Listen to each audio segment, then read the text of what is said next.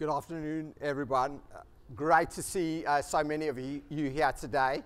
Um, hopefully, this will be a session that will um, really inspire you uh, in constructing your portfolios.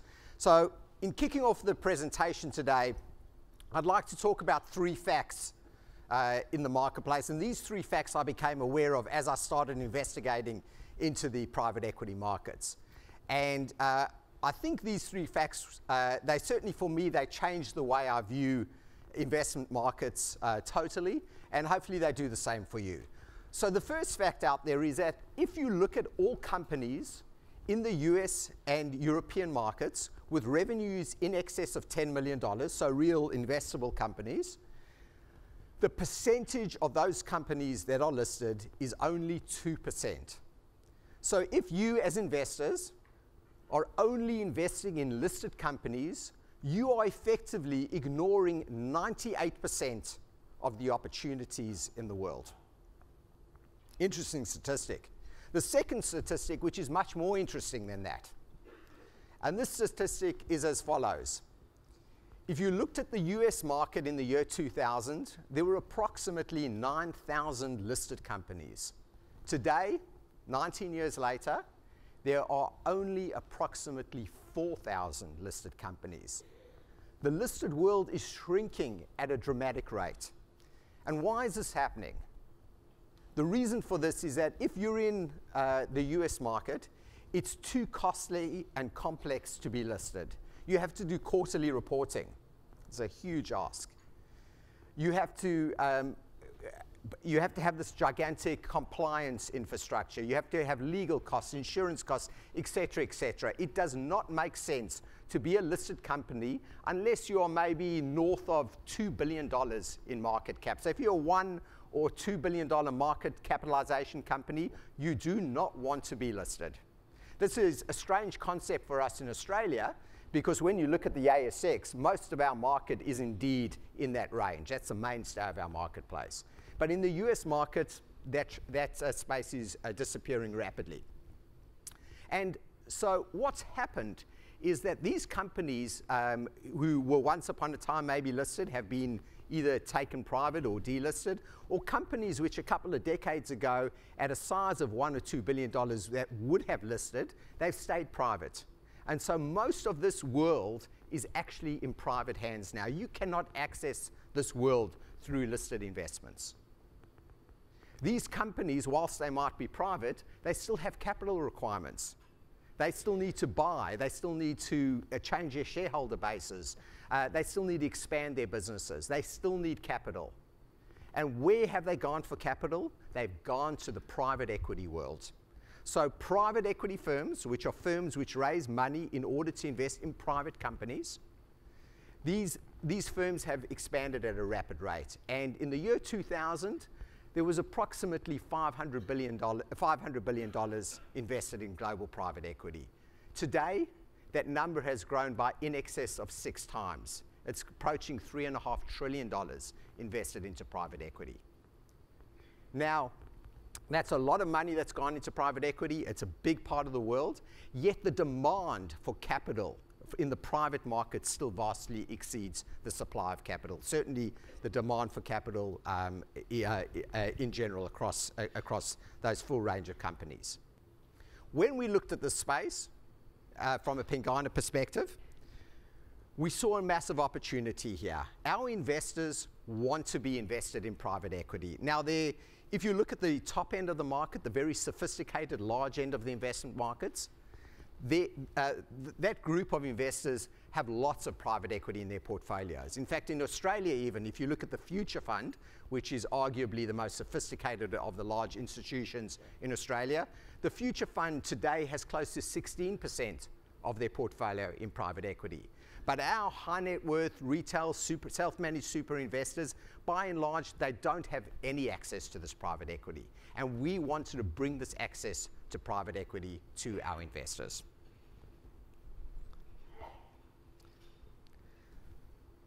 We are, we are in a position today to bring this access to our investors, and this is through the Pengana um, Private Equity Trust. a trust that will be listed on the ASX and will give all of our investors an opportunity to access high quality global private equity. You can see um, by the list uh, on the, on the uh, slide um, of um, our syndicate uh, who's involved in helping us raise the capital. I think I've met most of you in the audience. My name is Russel Pillemer. I'm the CEO of Pengana Capital. Just a bit of a recap about Pengana Capital. Pengana Capital is a publicly listed funds management group. Uh, we uh, today run about $3.2 billion uh, of funds under management.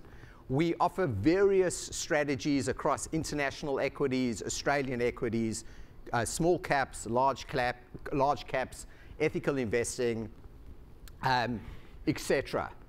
We are constantly on the lookout for opportunities that make sense for our clients. Our client base is all individual clients. We don't deal with big institutions. We like to keep our, our, our funds of a manageable size so we can continue to generate superior um, outperformance over long periods of time private equity makes a lot of sense for our investors. By and large, what we are trying to do for our investors in each of our products is to generate good long-term returns with lower levels of risk. Uh, lower levels of risk. When we looked at the private equity market and thought about designing a product, we saw that this pro product could fit very, very well into this paradigm. So why private equity? What is so special about private equity? I mentioned the broader investment universe. There are a lot of investment opportunities available in private equity, much more than in listed equities. Portfolio diversification. Private equity in your portfolio will behave differently to listed equities. It has what we call low levels of correlation with listed equities. It makes sense to help you balance your portfolios and to give you a buffer to your portfolios in volatile equity markets. It's resilient uh, uh, when you see, historically, when you've seen large falls in, in public equity markets, in listed equities, private equity has moved much more slowly. It's been much more resilient than listed equities. And finally, if you look at the returns of, of private equity relative to listed equities, in general, there's been a significant premium that you can generate by investing in private equity. So in order to put, in order to manage a product in private equity space, you need to have access to the best private equity funds. The best private equity funds in the marketplace usually do not want your money. There are very few firms who dominate the space, and one of these firms is Grosvenor Capital. Now, we went around and met with uh, several um, uh, comp competitors of Grosvenor globally um, in order to assess who could best manage the product for us and our investors. Grosvenor is the standout performer. Um, you will soon hear from um, Aris Hatch, who's a managing director at Grosvenor Capital, uh, about Grosvenor, but just thought I'd mention a couple of the reasons why we as Pengana um, selected Grosvenor. So Grosvenor is a large business. Uh, they operate, they manage about $52 billion uh, in um, alternative assets. About half of that is in private equity, so big play in the market. They have got very deep relationships with what we call um, middle-sized private equity managers. Private equity managers who don't manage tens of billions of dollars, but are not too small as well. Uh, uh, Grosvenor's ideal space is managers in the range of half a billion dollars to one and a half billion dollars. That's where they focus. That is the part of the market where that has the best risk and return relationships um, that we've identified in the marketplace. The average companies that the Grosvenor uh, funds that, that Grosvenor invest in, um, uh, the average size of those companies is about a billion dollars. So we're looking at robust companies. We're not looking at, this is not venture capital, highly risky investments. This is, these are robust companies. We also wanted to put together a portfolio that had lots of investments in it. Diversification is a key in the marketplace. Grosvenor have substantial, numerous relationships in the marketplace, and they were able to build such a product uh, for us. Grosvenor only has, uh, they focus on the institutional market, they only have institutional clients, and our trust that we will be putting together looks like another one of the institutional clients that Grosvenor has. Grosvenor has a fantastic track record dating back a couple of decades, and it's this track record that we identified as being uh, of paramount importance to us. I'm now going to hand over to Aris Hatch, who will come and talk a little bit um, about the portfolio and about investing in private equity. Um, I will return after Aris has uh, finished uh, speaking and talk specifically about the trust, the attributes of the trust, and how it works in a listed context. Over to you, Aris. Good afternoon. This is a great turnout for a bunch of people in Sydney to hear about private equity. it's great to have you here. Um, as Russel mentioned, my name is Aris Hatch. I'm a managing director with GCM Grosvenor. And I'm here to tell you a little bit about this offering that we've created for the marketplace with Pengana. It's something that we believe is very unique in the marketplace. It solves for a lot of risks and challenges for the average retail investor to access an area of the market that heretofore has not been structurally accessible for a lot of different reasons. And I'll take you through those. Over the next few minutes, what I'm going to do is tell you about six facts who anybody who's thinking about investing in private equity should be thinking about and be aware of. Then I'm going to tell you a little bit about the building blocks that go into making a private equity program, like the program we're talking about today. And then lastly, I'm going to tell you a little bit about how GCM Grosvenor does that. So you can get a sense of exactly what we're intending to do with this offering and exactly what you would get as a potential investor. So let's start off with what is private equity, right? It has a lot of different connotations, negative, positive, large, small, venture, big buyout.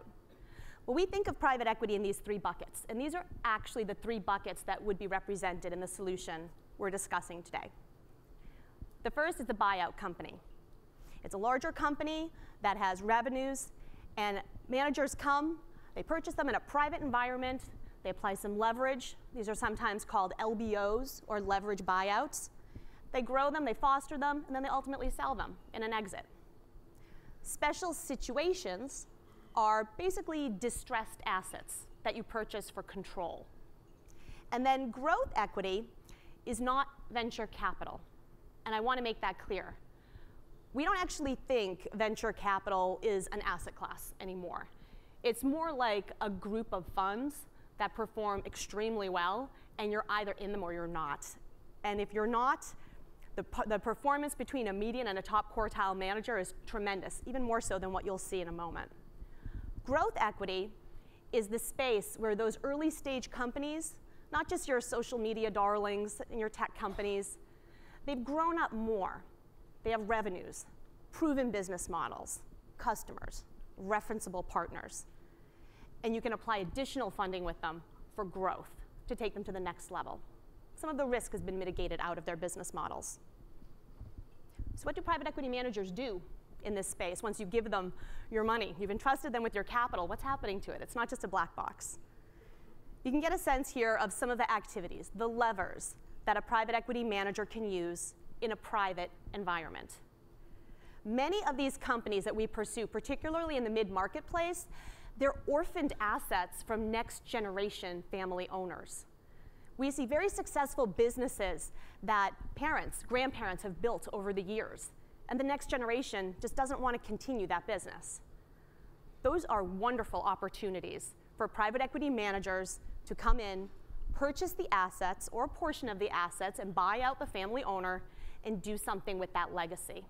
Combine it with another company make it more efficient with some technology, hire new talent, expand the product offering, expand the geographic footprint. There's a lot of options. They also take restructuring into consideration. Managers increase working capital so you can do more with the company over time. And they even create and develop new product offerings, many of which you can encounter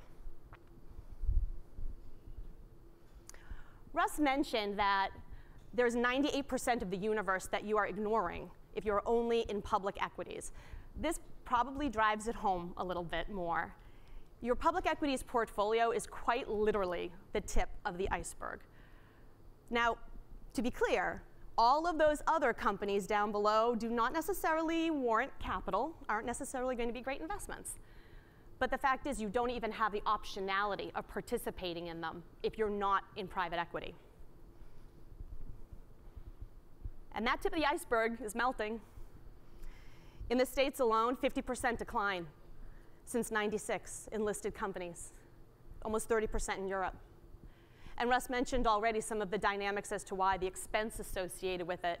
Companies that can't be in the public eye to do what they have to do, the regulatory complexities, the tax burdens, the disclosure burdens, the compliance burdens.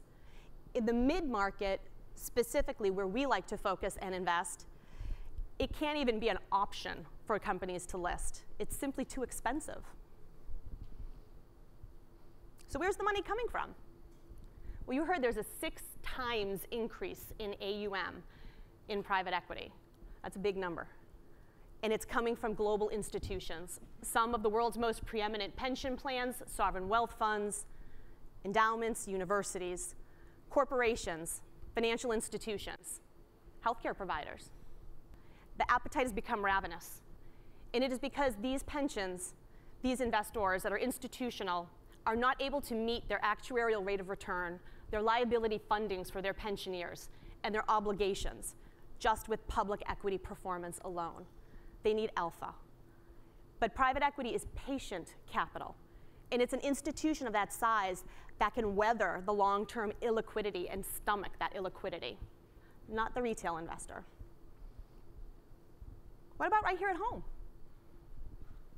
Future fund has good exposure. Your superannuation is only 4%. So why? Why, why all this pummeling of capital into this space? Take a look.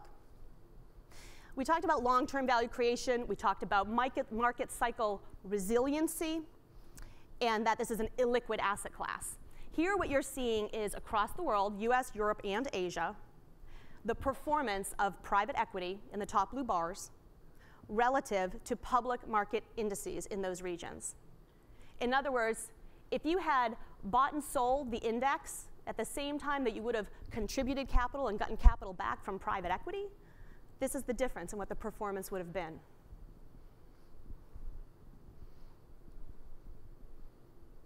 What about down markets? What happened in the global financial crisis? We get asked that a lot, and that's a very fair question.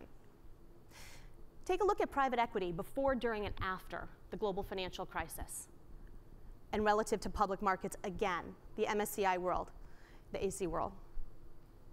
What you're seeing here in the dark blue bar is that private equity performance not only held its sustainable outperformance pre crisis, it was more resilient during the crisis and outperformed post crisis. So, why is that? The assets that are underpinning this performance are private. Private equity is private. They were not subject to the swings of the market. The valuations did not change. They weren't in the spotlight, they weren't trying to beat the street. Managers during a crisis environment are able to retrench, work on the companies, make them more efficient, add capital, not worry about a stock price or stockholders or people pulling capital out, and actually add better talent on the cheap frequently. I always say that a good private equity manager loves a good recession. The best private equity funds over two decades have been formed during a down market. Now, that's not only because of the levers I mentioned that a manager can pull to help a company grow, it's because when you're even putting money to work during a recession, you're buying those companies off of trough earnings, as cheap as they come, and you're selling them out of that market when the market is heating up and multiples are heating up. And that is the benefit that clients get in macroeconomic headwinds like a recessionary environment. So, how much is, is right, right? If you look at your portfolio, call it a traditional 60 40. 60% equities, 40% bonds or fixed income. If you were to add just 20% exposure to private equity, this shows you exactly the kind of performance lift that you would get without adding volatility or risk.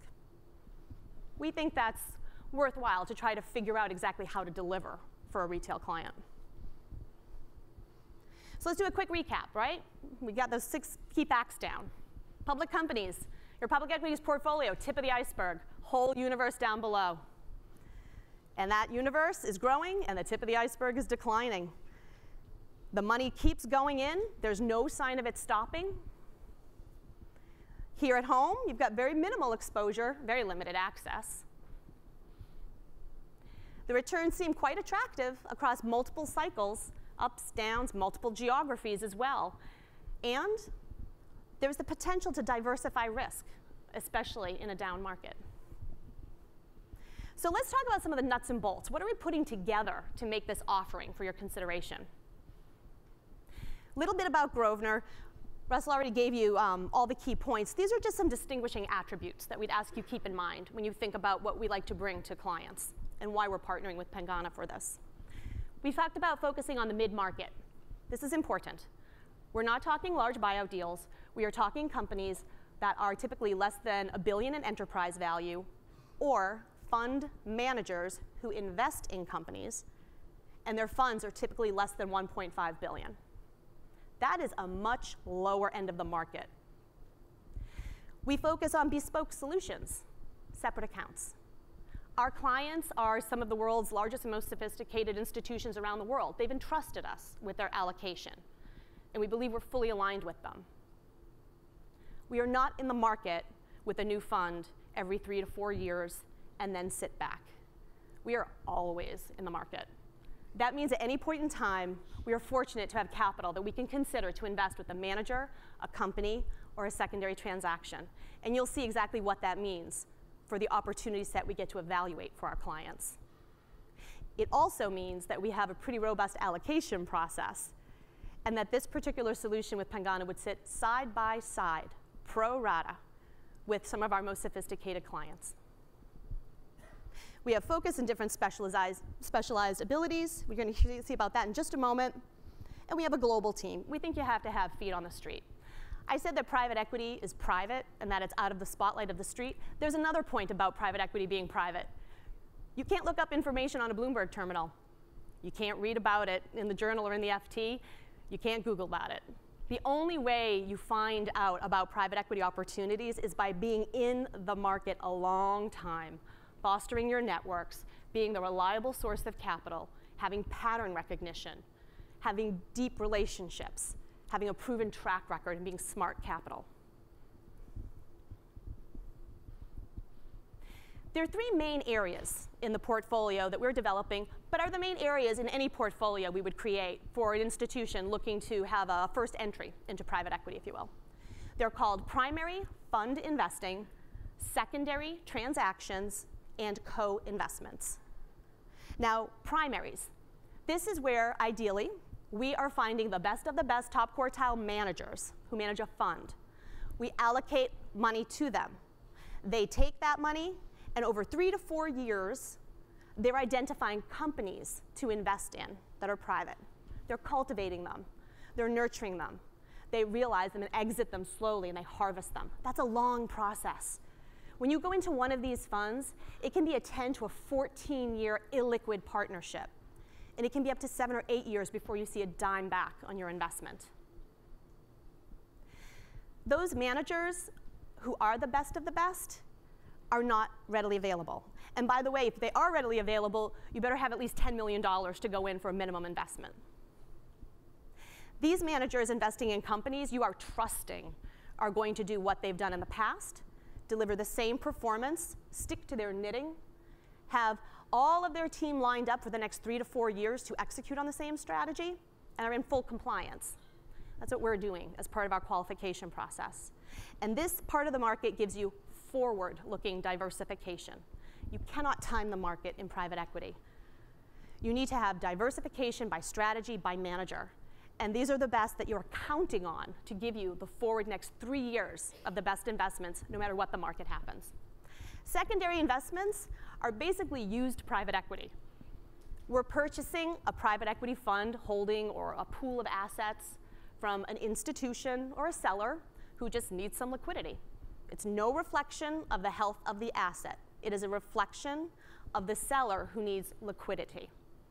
We purchase these, typically at a discount to net asset value, sometime at a premium. Our job is to do a bottom-up analysis, company by company, and forecast where that company is going to end up over the long term which the key value drivers are. Now, secondaries are already built out. You know the asset. It's not a blind pool. You can research it. You can diligence it. but they also give you backward diversification. So one investment in a secondary can have hundreds of companies going back to 15 years. And co-investments are the most concentrated investment you can make. Now, I just said you can never time the market in private equity. Well, you can time the market with co-investments. A co-investment is where you're investing in one company alongside one of the primary managers or manager that we know. We have a pure co-investment strategy. We're not going out there trying to find the next great Uber or any market disruptor and then bringing it to other managers and asking them to participate with us as investors. We have, invest, we have managers bringing us portfolio companies that all are getting funded, that all have already been through vetting processes and qualified. We qualify them on our own and cherry pick the best of the best. When you make that investment, your dollar is in the ground day one. Your exposure is in the ground day one. They have a shorter hold, they realize faster, and they're meant to be an alpha kicker or a performance enhancer. Now, all of these things work together in the ecosystem. More primary funds fuels more co-investments, fuels more secondary deals, fuels more exits, fuels more primary funds.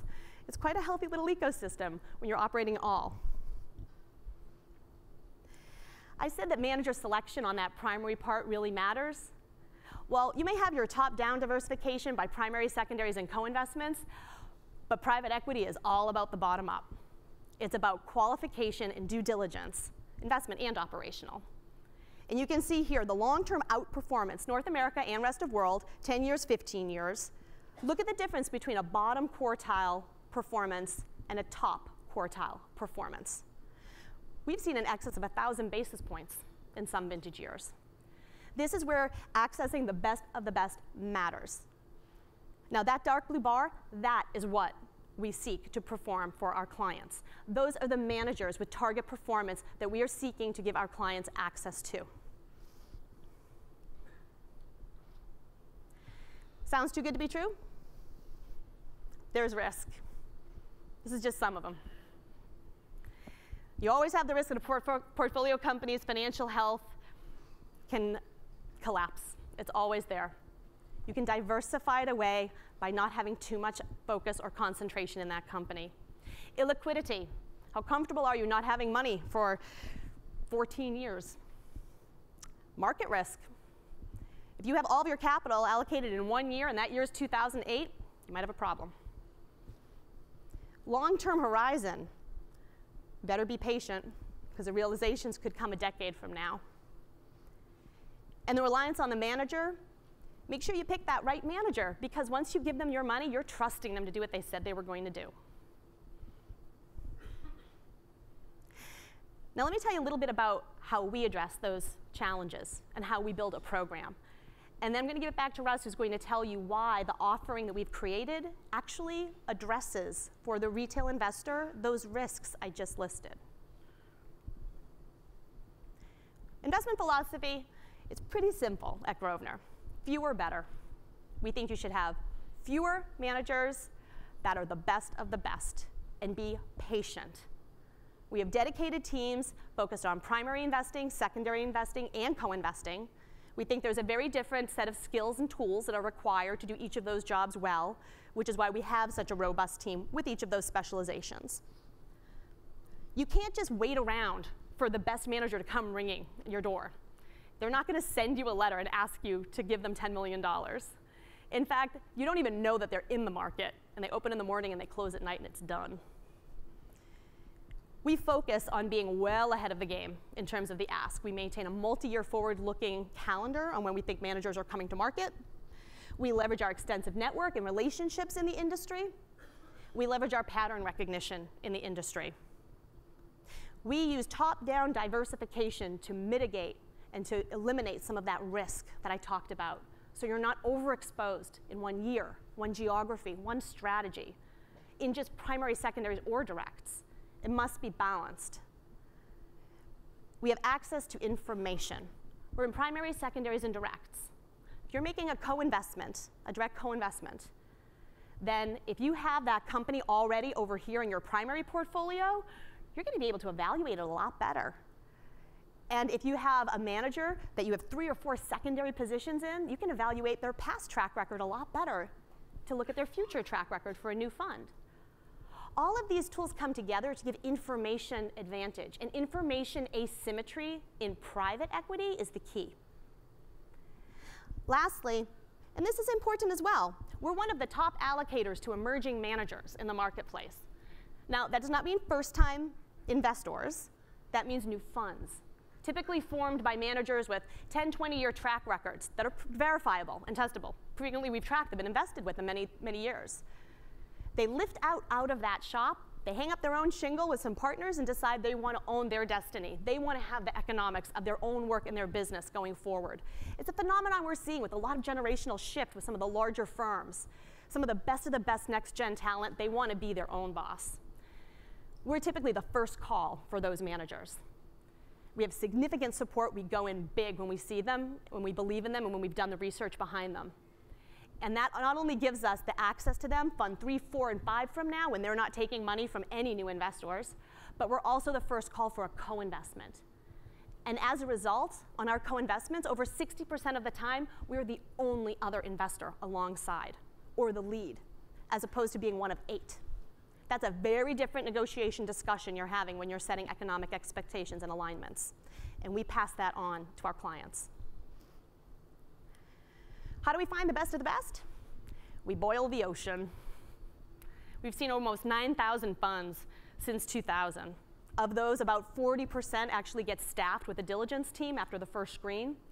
And of those, they actually convert to about 8% being proven to receive capital from us on behalf of our clients. That's a lot of work, and it's global. On the right hand side, what about companies? Well, 3,576 companies that were funded by other managers brought to us to participate in. Of those, a 10% conversion rate and only 7% actually get capital. Tight screen, right? On the co-investment side, for the last 10 years, we have seen on average a deal a day. And we've closed on a deal for the last eight years every two weeks on average. We like to tell a manager in two days whether we think we might have an indication of interest or no because a quick no is worth a lot more than a long maybe.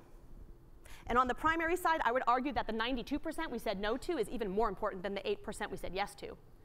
Because that 92% are going to be the managers that are hanging up that shingle.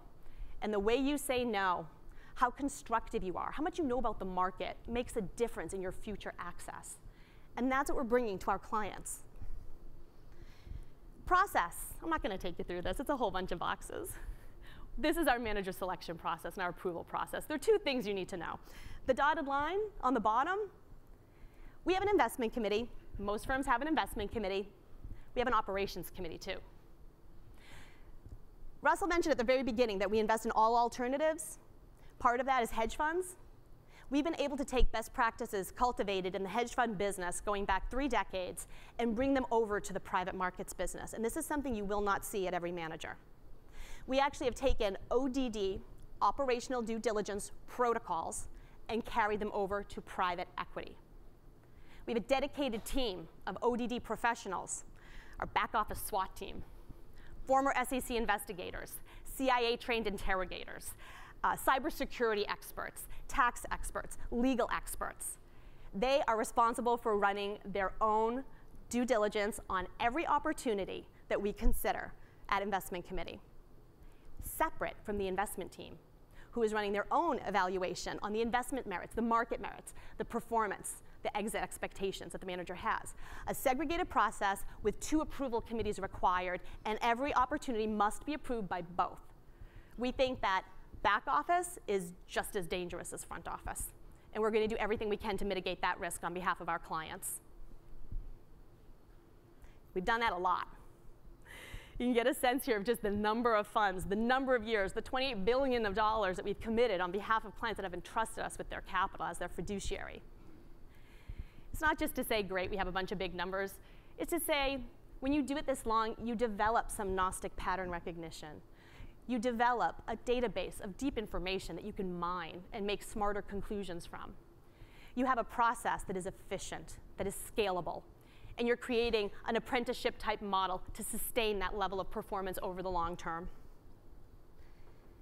How are we going to deliver this to you?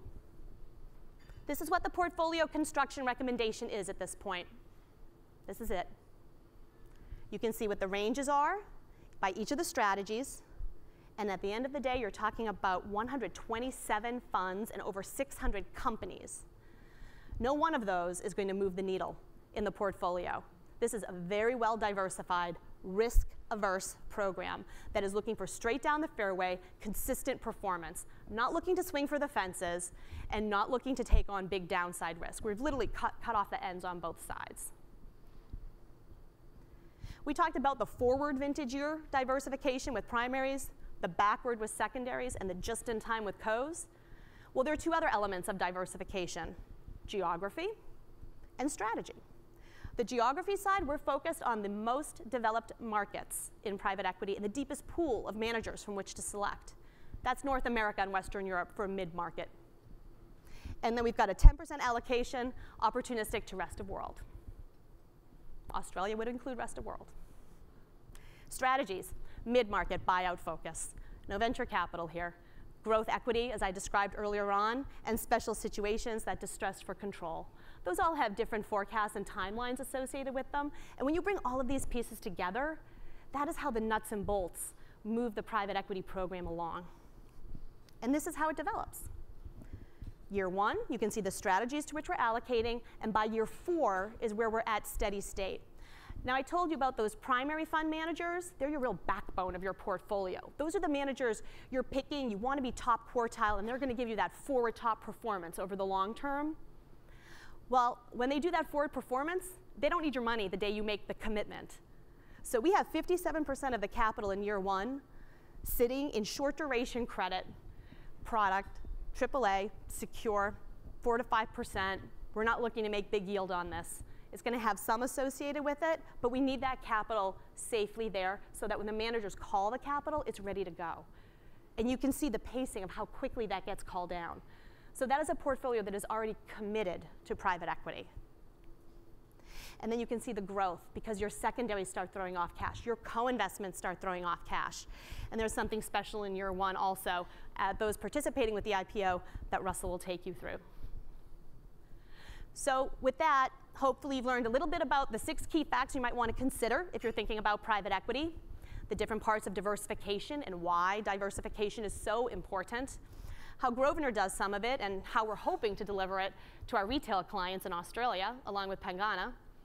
And remember those risks I told you, because Russel's about to tell you how we're addressing some of them with this structure.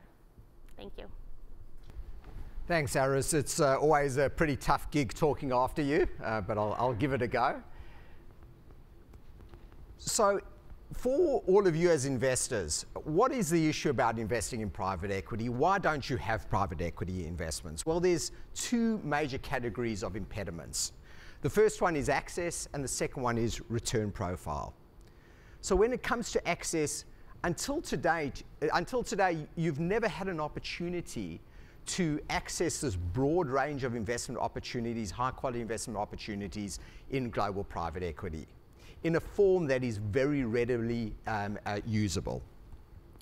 Uh, it's usually done when you invest in private equity, as Aris mentioned, uh, if you go into an individual fund, it's done on a drawdown basis.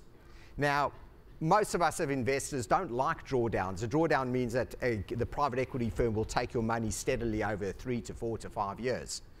Um, if you want to make an investment in private equity, you want it to go in now and you want it to sit in your portfolio as a certain percent as part of your portfolio allocation. We've dealt with that by not having a drawdown. We will take all the money in on day one. Probably the biggest impediment to investing in private equity is the illiquidity. Now, if you go into a private equity fund, you need to be locked up for probably 13, 14, 15 years. It's going to take that amount of time to get all your money back. Most of us uh, as investors do not like that illiquidity. We want to have our money if we need it. We have addressed this issue by listing the trust. So what we've done is effectively exactly the same as what the property trust industry figured out many years ago. And that is if you've got a very illiquid underlying asset class like property, how do you get it to investors in a form that is liquid? That where they can get in and out? Well, it's quite easy. You list the trust and investors can trade in and out of it, and that's how you get the, your liquidity. Our trust is no different to that, except instead of our underlying asset being property or infrastructure, our underlying asset is private equity. With regards to return profiles, private equity uh, usually um, has a poor return profile in the first couple of years, and this is particularly when it comes to primary investing.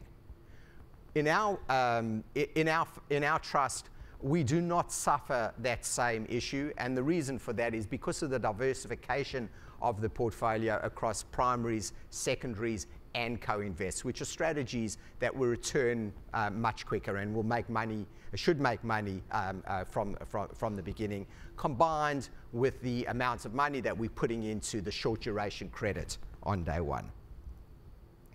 We are also targeting a 4% uh, distribution yield. This is a listed investment trust, not a listed investment company. I think most of us in this room are across the issue of trust versus company and the potential uh, problems that might arise uh, if there's a future change in um, uh, uh treatment of uh, franking credits. So trust is a better vehicle at this point uh, in, in time.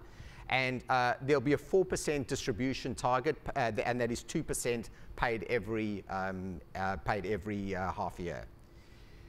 We think that this uh, investment opportunity can sit in your portfolio as either a growth opportunity, because if you think about private equity returns, those are very strong, solid, um, uh, high growth returns. And likewise, it can sit in your portfolios as an, uh, as an income opportunity as well, because it does pay a 4% distribution yield. We are doing something in this transaction that is groundbreaking and has not been done before, and we think that this will A, contribute to a very successful uh, raising, but also really be appreciated by all of our investors. So firstly, um, and this is not new uh, to Pengana, we are paying the cost of the offer. These offers usually cost about 3% to get up and running. A few years ago, uh, trusts used to pay their own costs which was to the detriment of investors. And an investor, for instance, would put a dollar into an IPO. When it opened up on day one, there was only 97 cents of net asset value. The funds management industry a couple of years ago accepted that that was an unfair structure, and so the funds management industry now pays for the cost of the offer. So usually what will happen is you put your dollar into the IPO, and when it opens up, the net asset value is a dollar. At Pengana, we are, do, we are flipping this whole paradigm and doing something absolutely groundbreaking, as I said. And what we're doing here is that when you put your dollar into the IPO and it opens up on day one, there is an estimated immediate uplift in net asset value of 5%. The net asset value will be about $1.05 on when it opens up, an immediate uptick. How are we doing that? We are taking some assets and we are putting them into the trust at what we call nominal value, basically, you know, an irrelevant value uh, close to zero. We put, uh, we put it into the trust. Um, uh, those assets that we're putting into the trust are shares in Pengana Capital Group, our publicly listed uh, fund management company. So if we raise at the top end of the range $600 million, we will freshly issue 5% of 600, which is $30 million. We will freshly issue $30 million of PCG shares, Pengana Capital Group shares, that we will put into the trust. Therefore, the net asset value on the trust uh, will be 5% above what investors have contributed. On a per, per unit basis, that will be a 5% uplift for each of the unit, for, for every unit that you hold in the trust. So why are we doing this? A couple of reasons. Firstly, we want to really thank all our investors for having the faith in us and for investing into us in our, in our IPO. It's great, it's great to have individual investors, and we do really appreciate it. Secondly, PCG, Pengana Capital Group, will obviously do very well out of this transaction. We created a lot of value for shareholders in PCG. What we're doing, we're saying we're creating some value for PCG shareholders. Let's take some of that value and put it into, give it to investors into, in, in, the trust. So we're sharing the value creation. We think it's a very fair thing to do. And finally, um, uh, it's very good for our brand, obviously, but we also want to have alignment with our shareholders. We love for our shareholders in PCG to be investors as well in our vehicles and vice versa. So we like that whole uh, scenario, and we love aligning ourselves with our investors. So we have gone down, uh, down this route. Approximately two years after the listing, those shares will be sent out to investors. It's what we call an in-specie distribution, basically like a dividend or a, a, a, like a dividend distribution. Uh, but those shares will land up in your own hands as shareholders two years after listing. They do belong in the trust from day one, and so should you seek to sell your units after the IPO, you should be able to get value immediately. You don't need to wait two years. They, they're fully vested within the trust.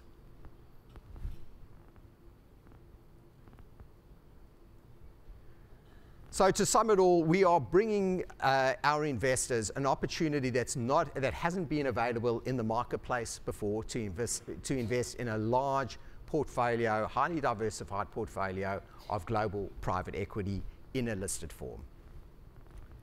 This is simple to use and easy to access uh, through the IPO or in the, uh, or in the, sec or in the secondary uh, markets. It's managed by Grosvenor Capital, one of the preeminent private equity managers in the world. I'm going to leave it there. Um, oh, uh, sorry, before I leave it there, uh, these are the details of, of the offer. The offer opened on, uh, on Monday, a few days ago, uh, and uh, the uh, priority offer and general offer will close on the 10th of April. The minimum issue size for the trust is $100 million, and we have capped it at $600 million. Um, our fees for, this, for the structure are 1.25% management fee and a 20% performance fee only over and above an 8% uh, return uh, to, uh, to investors.